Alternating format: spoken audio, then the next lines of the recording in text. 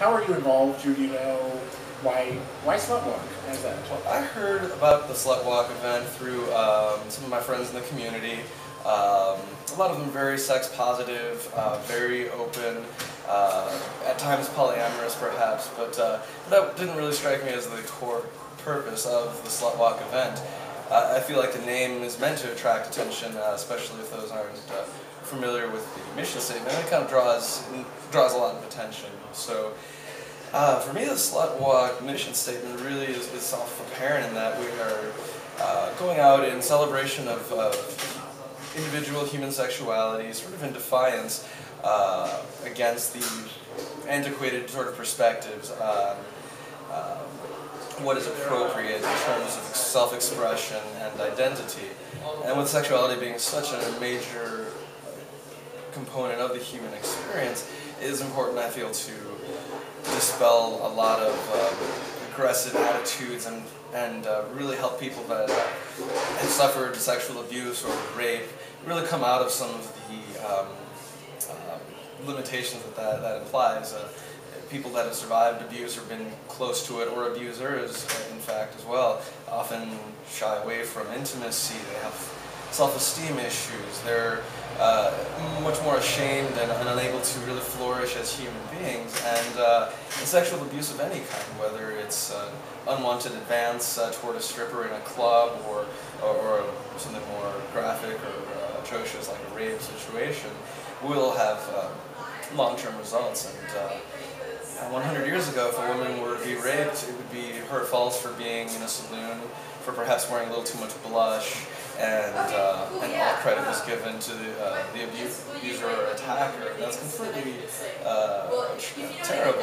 Um, it really hinders a lot of personal development. And, and as humans, being relatively social by nature, uh, we, we shouldn't really be hindering our impulses and our, ourselves, but rather helping to bring those aspects of each individual that we encounter out. And the slut walk is in part a celebration of uh, personal freedom, sexual choice, um, predominantly uh, in the face of that sort of oppressive element of expectation and cultural relativism.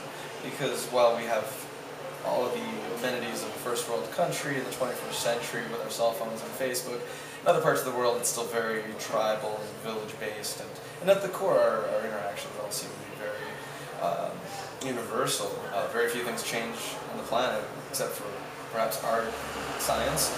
Um, but uh, but yeah, so to me it, it, was important to come and be uh, supportive of my community, um, surrounded by a lot of, like I mentioned, sex positive, queer friendly, uh, and just people that have gone through those emotional um, uh, uphill battles and, and come out with a more assertive perspective where they can go and reach out to people who have who have suffered a lot of uh, struggle, uh, whether imposed on them or otherwise through instances of abuse. Yeah. So what would you uh, what would you hope that non-participants, I guess, would take away from the, this, this event, this, this walk?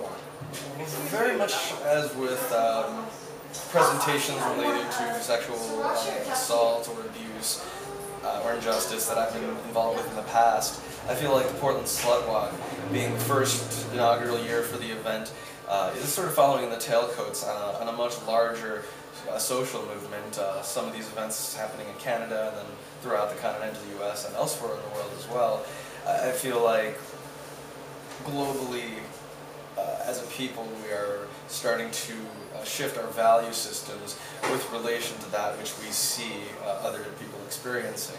Um, whether the same silly issues like abortion and gay marriage that people want to bicker about, the human experience is, is very universal and accessible and transcends cultures and, and regions. So uh, by the slut walk occurring in Portland and gaining some exposure, I would hope that people would have attention called to it and then see it, take the time to really explore what it's about and then just take a moment to reflect on how much um, sexual abuse really occurs just under the radar. It's not all rape whatsoever. It's, it's attitudes, it's sneers, it's whistles, it's unwanted attention, it's uh, uh, schoolyard um, bickering, and, and, all these things really uh, affect humans uh, emotionally in a very uh, deep way. So the more we can do to be supportive of each other, the better able we will be able to just collaborate uh, and, and function as humans. I'm losing my train of thought. I feel like that's a good chunk of, we got some pretty uh, information-rich stuff there. And, and it's funny because despite people's age and experience, um, people might experience abuse early in life and then become abusers, and then later on uh, have a born again experience or something where they become compassionate toward each other. And that's really at the core of something like uh, like this event. The compassion we feel toward others versus um, a sort of uh, egocentric perspective uh, where we don't consider the rights of somebody else not to be abused. That our actions will necessarily affect uh, those that we interact with, and uh, we need to take some responsibility for that. And to not have a compassionate perspective will always cause uh, damage in the world. And I feel like this is an opportunity for people who see through those uh, antiquated habits, uh, so to speak. I can't say antiquated. It's, Yeah. it's different every everywhere, but um, but definitely I feel like more harm is going to be done by not doing something like this than going out and celebrating and having a fun time, but really making it clear that it's much more important than just um, young people wanting to go and express themselves, you know, in their sexuality or individuality. It's, it's really not about that at all. It's about celebrating human, you know, the human experience and that very essential part of it. Uh, you know, sex and love has always been deemed extraordinarily sacred, um, no matter what religion or culture you're from, and uh, to to cause harm rather than to show love. Uh, I think it was um, uh, one of the civil rights um, activists from the '60s, um, Cornel West or something, Oh, yeah. said, uh, I forget the quote, um, that uh, tenderness is the expression of love in private, justice is the expression of love in public. And this sort of event is taking an issue that many people keep private, their own internal struggle with sexuality or abuses that they've experienced, and, and making it uh, a public forum to, to help uh, improve, improve all of our qualities of life. Think we'd be happier people if we didn't have so much um, self um, deprivation, self doubt, self things that cause us to hesitate and feel shame and negative attitude, uh, feelings towards something that should really be a happy thing. So, yeah, bunch of happy people standing up against harm, I guess. That's cool.